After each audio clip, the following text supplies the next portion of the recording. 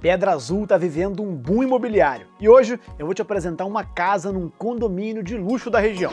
O terreno tem 4 mil metros quadrados, com vista para ela, a nossa bela Pedra Azul. E para curtir de camarote, no quintal tem uma piscina aquecida, fogareiro, campinho de mini golfe e claro que não poderia faltar a área gourmet. Já a área construída tem 800 metros quadrados. E parece que para todo lado que a gente vai, a pedra vai junto na sala, na área de jantar. A casa tem seis quartos, incluindo quatro suítes e o maior deles é o quarto do casal, que fica no andar de cima. Imagina dormir e acordar com essa vista. Uma casa como essa em Pedra Azul custa entre 8 e 10 milhões de reais. Mas se o valor não está cabendo no seu bolso, alugar para o final de semana pode ser uma opção.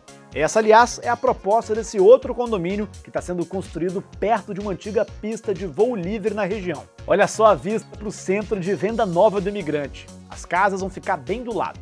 Na primeira fase da obra, 15 vão ser construídas até o final do ano. Depois, mais 10. Os proprietários vão poder alugar as unidades quando não estiverem usando. E quem vai fazer a gestão dos aluguéis vai ser a Housi, empresa de São Paulo que é referência nacional nesse tipo de negócio. Eles vão fazer a gestão desses clientes investidores, né, desses clientes que adquiriram as cabanas. Ou seja, o cliente não vai ter dor de cabeça, ele não precisa vir aqui pegar a chave, entregar, mandar limpar.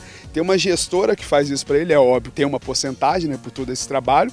Essa gestora cuida de tudo, entrega o líquido e quando ele quiser usar, ele bloqueia no sistema da, da operadora. Fala, não, esse final de semana eu quero utilizar. Amanhã eu vou te mostrar mais belezas e potencialidades dessa região turística do Espírito Santo. Fica ligado aqui nesse mesmo horário. Te espero.